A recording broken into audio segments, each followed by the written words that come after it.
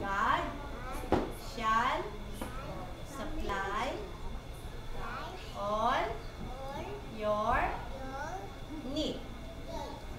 Philippians 4 19. Very good. And let's go for TV. Thank.